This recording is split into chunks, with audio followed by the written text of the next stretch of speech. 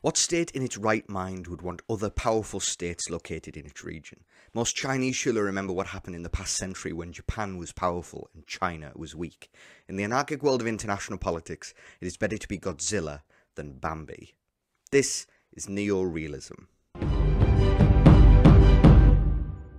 Or should I say structural realism as it's otherwise known, because neorealism dispenses with classical debates about human nature and attempts to bring realpolitik into the realm of modern social science by focusing on how the structure of the international system drives states to behave. It is, as Gilpin contrarily put it, the science of peace. So stay with me and we'll chart an understanding of the international system that dominates some of the most influential policy-making circles on the planet. In this video, we'll tackle one building block at a time so that you can think like a neo-realist. So whether you're studying international relations at university or not, this video will give you the lowdown on ideas that span the likes of John Mearsheimer and Kenneth Waltz. In a word, neorealism is about one thing power.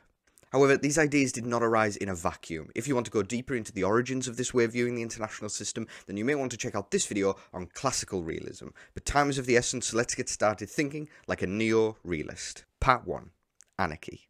To understand neorealism, we need to start with the concept of anarchy. Anarchy in international relations does not mean chaos and disorder, but the absence of an overarching authority ruling world affairs. If a treaty is broken and a state is invaded or a crisis unfolds, there is no one in charge able to enforce rules or effectively coerce all other states. To neorealists, this environment, this structure, compels states to compete for power. John Mearsheimer distills this understanding of anarchy down to five assumptions that to him logically lead to this perspective. It's important to note that these are academic academic assumptions and therefore are not necessarily meant to directly reflect reality, but are reasonable tools for making predictions and understanding the world.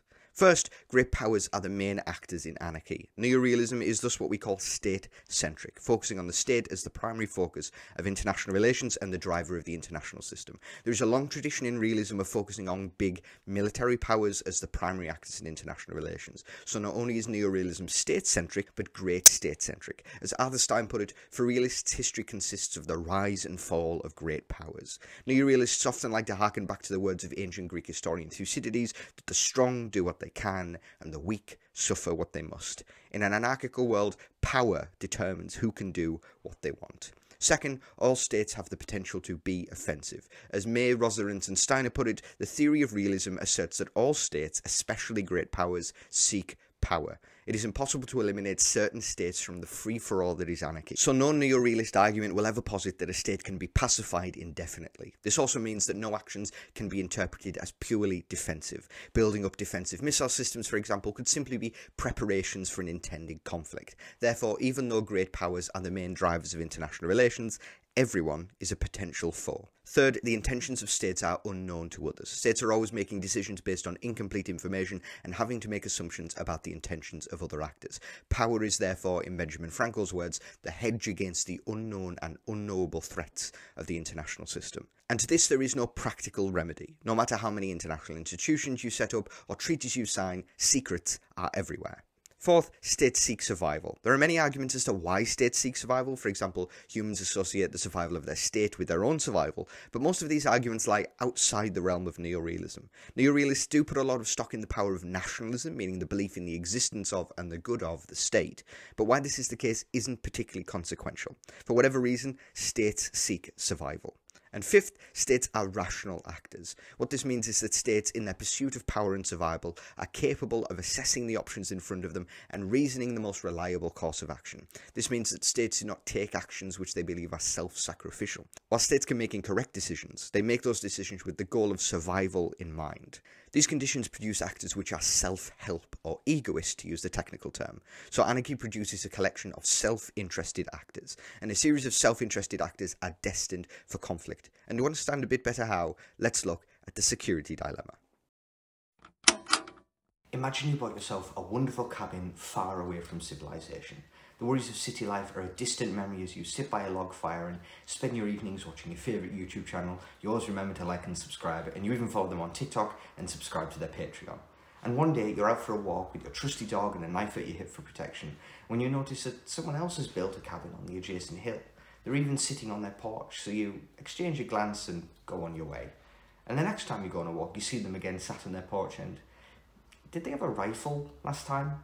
So when you get home, you dust off yours, clean out the barrel and keep it with you.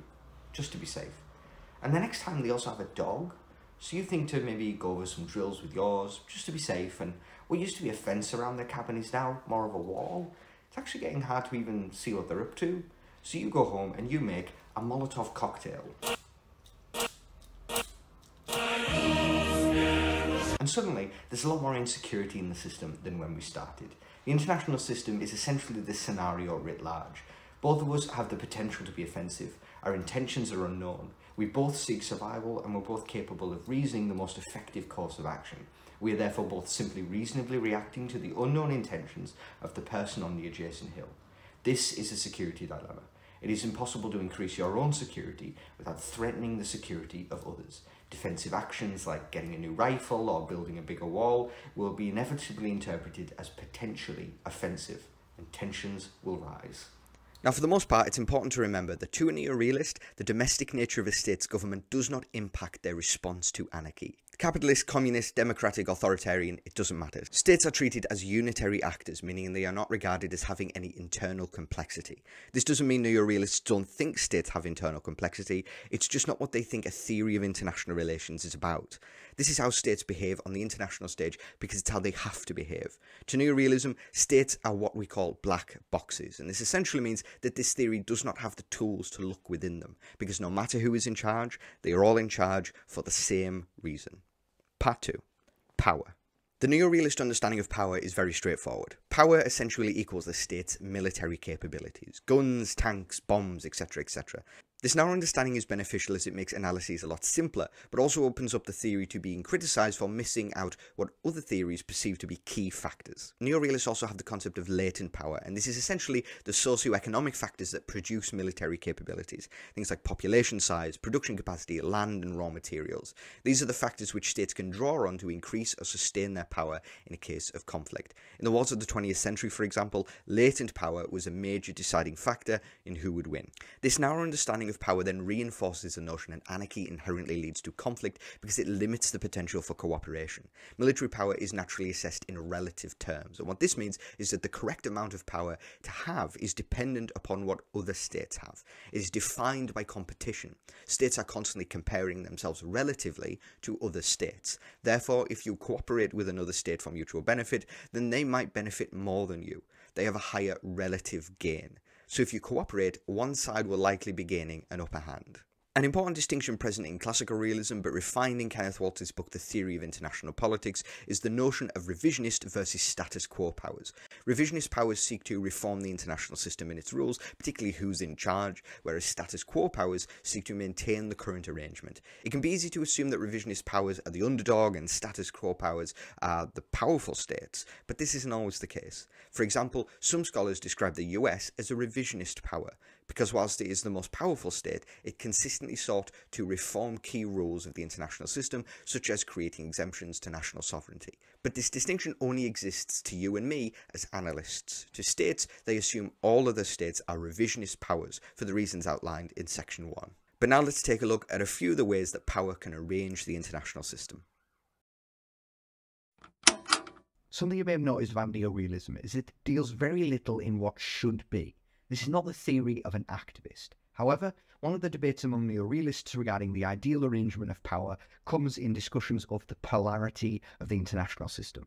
Poles are great powers in the international system, like magnetic poles. They are the points around which power converges. Now, there are essentially three different kinds of polar system, which neo-realists disagree on which is the most stable. Unipolarity, bipolarity, and multipolarity.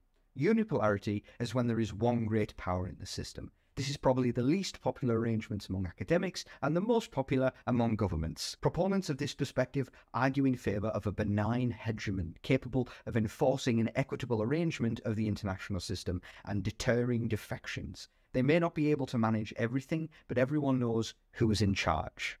The problem arises when a unipolar power begins to ideologically engineer the affairs of other states, as this can raise the overall insecurity and thus fluctuations in the balance of power. Bipolarity is when there are two great powers in the system, for example, the Cold War between the US and the USSR in the 20th century. Proponents of this arrangement argue that the low number of rivals keeps the two great powers from excessively managing and interfering in weaker states as there is only one other power to balance against. Whilst there were mm-hmm. many iconic and devastating proxy wars between the US and the USSR, it was markedly more peaceful for the majority of the world than the 50 years prior. Only one rival also makes things more predictable, and you're not having to constantly assess and weigh the costs of actions against multiple actors. Multipolarity is where there are three or more great powers in the system, and the major advantage of this arrangement is that states don't become obsessed with each other. Their attention is diffused, and they have more to focus on than subverting their one rival. Multipolarity also makes deterrence easier, as if one great power starts to excessively flex its potential, the other states can quash it. For example, the forces of Europe uniting against Napoleon in the early 19th century, or Germany in the 1930s and 40s. So those are just some of the ways that power can be arranged in an anarchical international system that revolves around exchanges of military power. But there is a major division in neorealism that it's important to keep in mind. Part 3. Offensive and defensive realism. Neorealists are largely divided into offensive realists, the most famous being John Mearsheimer, and defensive realists, with the most famous being Kenneth Waltz, and it's important to know the difference between the two. The first difference is a subtle distinction in what power is for, and it has major consequences. Offensive realists believe that states are power maximizers in relative terms.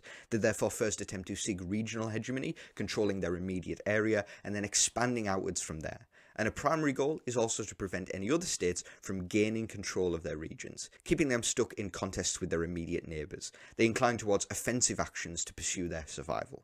Defensive realists, on the other hand, believe that states are security maximisers in relative terms. They seek what Waltz labelled an appropriate amount of power, a balance of states with as little conflict as possible. States in this view are not concerned with being able to conquer and control others, but merely to protect their own survival. They incline towards defensive actions to pursue their survival.